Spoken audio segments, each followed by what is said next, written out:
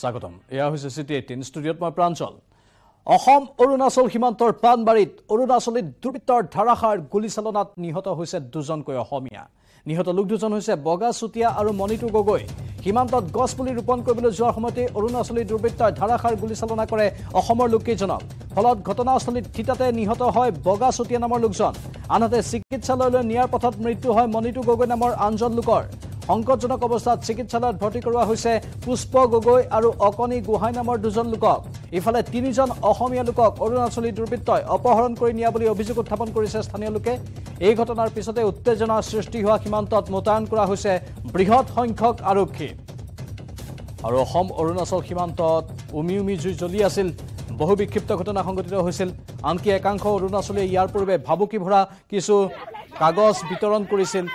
আৰু সেই স্থানত আজি ভয়ংকৰ অৱস্থাৰ সূত্ৰপাত হ'ল অতি বেয়াকৈ অসমীয়া লোকক আক্ৰমণ কৰা হ'ল। দুজনকৈ লোক নিহত হৈছে আৰু তাৰ পাছতেই চৰম উত্তেজনাই বিৰাজ কৰিছে অঞ্চলটোত অসম অৰুণাচল সীমান্তৰ পাণবাৰীৰ খবৰ এয়া দুৰ্বৃত্তৰ গুলীচালনাত নিহত হৈছে অসমৰ দুজন অসমীয়া। নিহত লোক দুজন হৈছে বগা চুতীয়া আৰু মণিটু গগৈ।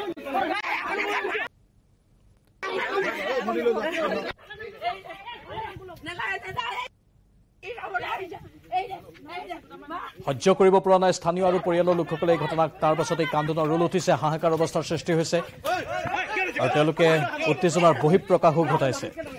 সীমান্তত গছ পুলি ৰোপণ কৰিবলৈ গৈছিল আৰু সেই সময়তে অৰুণাচলী দুৰ্বৃত্তই ধাৰাসাৰ গুলীচালনা কৰে অসমৰ লোককেইজনক। অসম আৰু অৰুণাচলৰ ভূমিকেন্দ্ৰিক সংঘাত বহুদিনৰ পৰা চলি আছে বহু লোকৰ মাজত। সীমামূৰীয়া বহু লোকৰ মাজত এই সংঘাত আমি বহুদিনৰ পৰাই পাই আছো কিন্তু চূড়ান্ত পৰ্যায় পালেগৈ আজি এই ঘটনাবোৰে।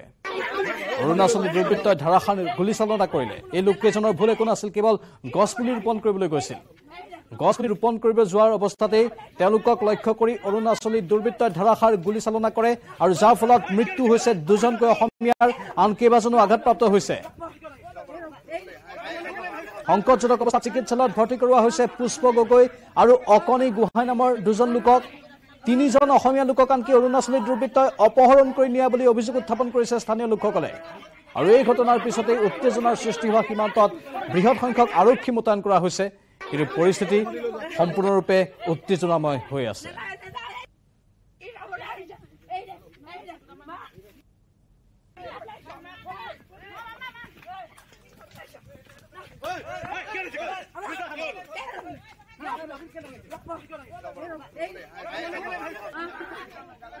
ইয়াত গছপুলি ৰোপণ কৰিব আহিছিলোঁ।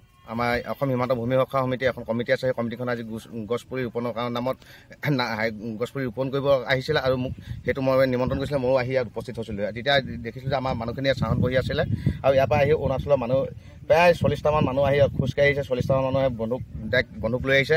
আহি ইয়াত অসমৰ ল'ৰা এটা মানে আমাৰ অসমীয়া ল'ৰা এটা ইয়াত বহি থকা ছাঁহত বহি থকা ল'ৰাটাকে ধৰি লৈ মাৰপিট কৰি থকা অৱস্থাত আমাৰ ইয়াৰ পৰা দুজনমান গৈ বচাব যোৱা অৱস্থাত লগে লগে গুলি কৰি আমাৰ এজন থিতাতে নিহত কৰিছে।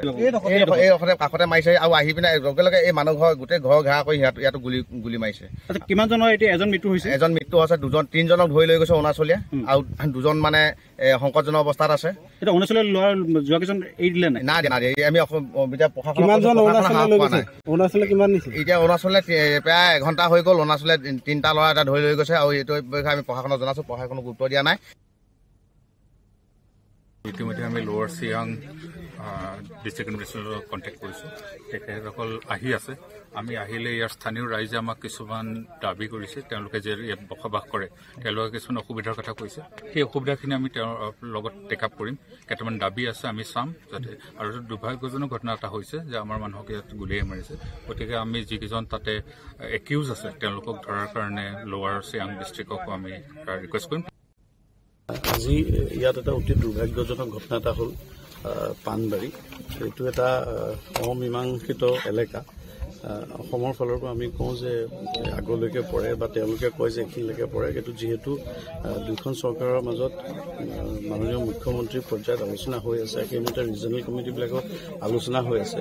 গতিকে এনেকুৱা সময়ত এনেকুৱা এটা ঘটনা হোৱাটো অতি দুৰ্ভাগ্যজনক। কাৰণ আৰক্ষী অধীক্ষক মহোদয় আমি ইয়ালৈ আহিছোঁ ইয়াৰ গোটেই মানুহখিনিৰ লগত কথা বতৰা পাতিছোঁ। তেওঁলোকে কিছুমান নামৰ কথা কৈছে। আৰু আমি ইয়াত এতিয়া গম পাইছোঁ যে ইতিমধ্যে দুজন মানুহৰ মৃত্যু হৈছে। বগা চুতীয়া বুলি এজন আৰু মণিটো গগৈ বুলি। আৰু দুজন জখম হৈছে পুষ্প গগৈ আৰু অকণি গোহাঁই বুলি। আৰু তেওঁলোকৰ ধেমাজি চিভিল হস্পিটেলত আছে ট্ৰিটমেণ্ট চলি আছে আণ্ডাৰ অবজাৰ্ভেশ্যন আছে। আমি লোৱাৰ চিয়াং ডিষ্ট্ৰিক্ট এডমিনিষ্ট্ৰেশ্যনৰ লগত বা আৰক্ষীৰ লগতো আমাৰ আৰক্ষী অধীক্ষকে টেক আপ কৰিছে। আহ, এটা কেছ ৰেজিষ্টাৰ হৈ ডেফিনেটলি এইটো এটা মাৰ্ডাৰ কেছ নিচিনাকৈ আগবঢ়া হ'ব।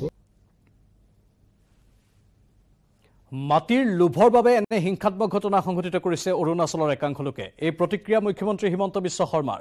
সাধাৰণতে চুবুৰীয়া ৰাজ্যই আক্ৰমণ নকৰে বুলি মন্তব্য কৰি মুখ্যমন্ত্ৰীগৰাকীয়ে কয় যে সমগ্ৰ ঘটনাৰ তদন্ত কৰিব জিলা উপায়ুক্ত আৰু আৰক্ষী অধীক্ষকে। মুখ্যমন্ত্ৰীৰ প্ৰতিক্ৰিয়া সন্মুখলৈ আহিছে এই ঘটনাক লৈ আৰু তেওঁ কৈছে মাটিৰ লোভৰ বাবে এনে হিংসাত্মক ঘটনা সংঘটিত কৰিছে অৰুণাচলৰ একাংশ লোকে।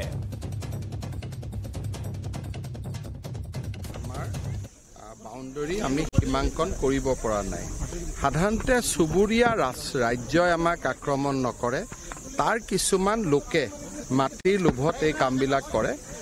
পুলিচে তদন্ত কৰিব আৰু উপ- উপযুক্তভাৱে ব্যৱস্থা গ্ৰহণ কৰিব।